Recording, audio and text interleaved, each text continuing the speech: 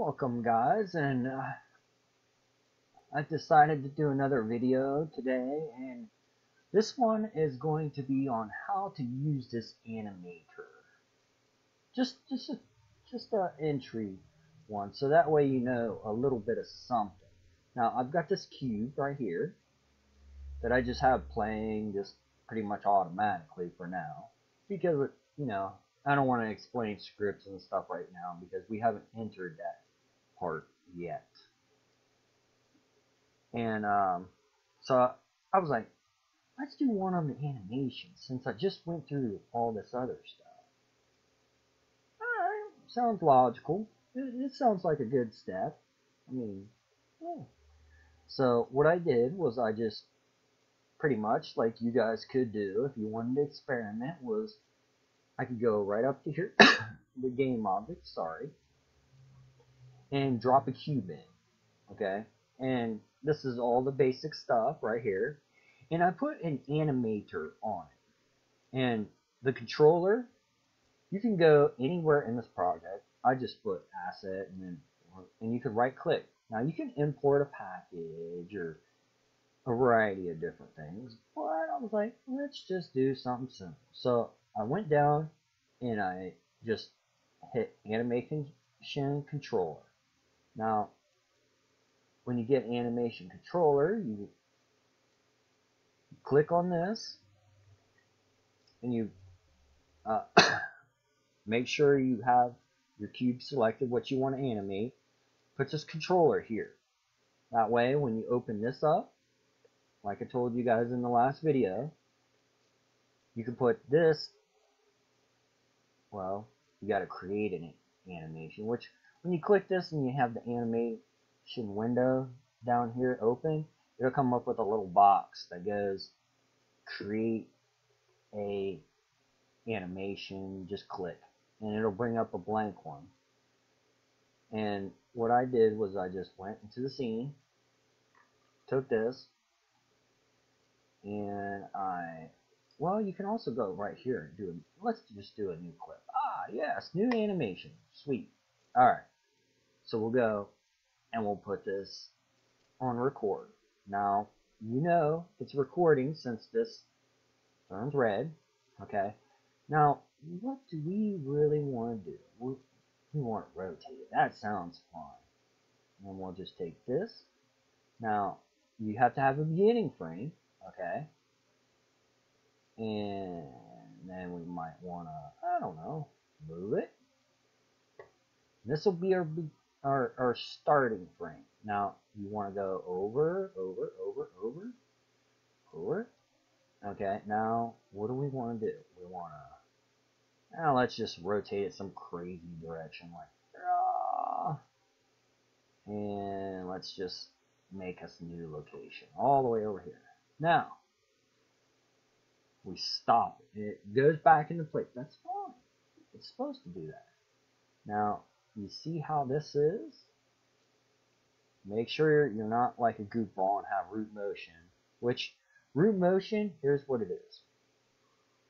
Anything that drives with motion, like if you animate a guy and he's moving in the animation, you know, like you model him and he just move, move, move, and he's like a walk animation, root motion will actually use the motion off the animation it'll drive the speed, um, how much he goes forward, backwards. That's for animation. If he turns in the animation and goes like sideways and goes, whoa, this doesn't. This is what it will do in game. It'll use the motion off of it and use no scripting whatsoever to control speed, rotation, or anything. It's all controlled here if you use root motion, which is really cool but I don't use it a lot, so you know, it's kind of one of those gray areas. Some people like, see, I, I like to do internet games, like, you know, multiplayer and stuff. This is an issue with multiplayer games because you want to interpolate where the the player is, and you usually use a lerp, interpolation, um, basically, I want to make sure he is in that spot that he's supposed to be in. Which, if you have root motion, it's problematic because he's trying to use the animation to move him instead of just making him go there. So we use non-root motions a lot of times in multiplayer because they're more of a pain than a work. They look great, but they're more of a pain. Now, since we're off record, now if we hit play, we and he just keeps going around like that, and that is an animation. Wow, you just did an animation. Bam.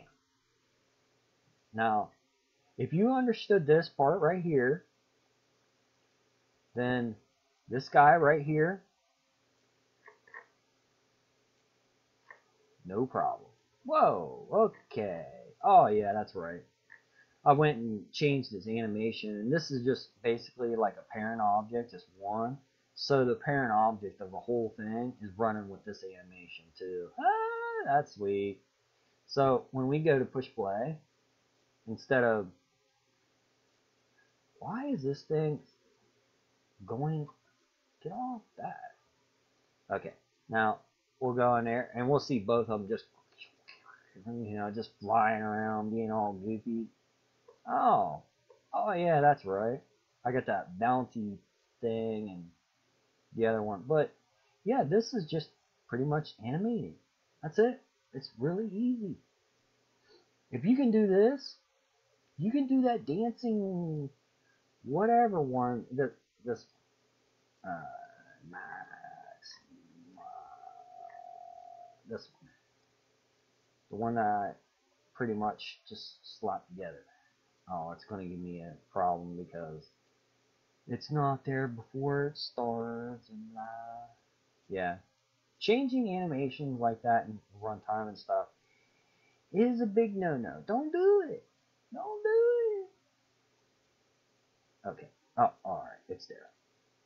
So, he should start dancing around like a fool. Yay! In the wrong spot. But he's there. Dancing. And why isn't he falling? Why isn't he falling? Huh. That's great. Why isn't he falling? Interesting.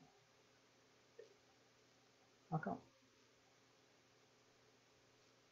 That's crazy. Hmm.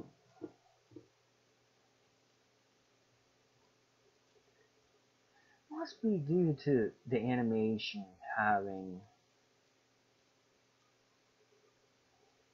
That's really weird.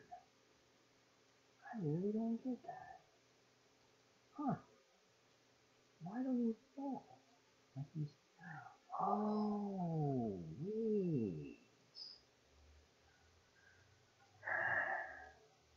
Okay. Now I know why. Reset transform. Okay.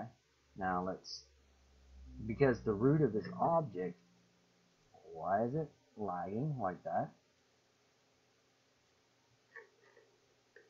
Oh, can't move it because the root of this object okay, instead of this like model, was someplace else, whether collider. Because the collision, to keep it going th through the floor, is the capsule. Remember? So if your capsule is there,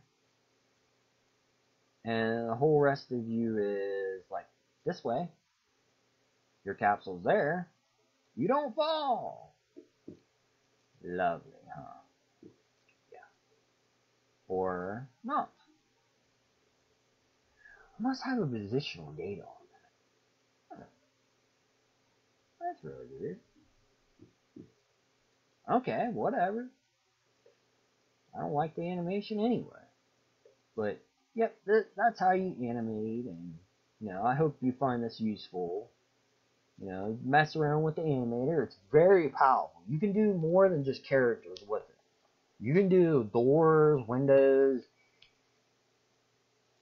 Trust me, it, it's going to get interesting later on down the road. But uh, I'm going to say goodbye and uh, hope you guys have a nice weekend. And uh, thanks for watching and come back because I'm going to do more.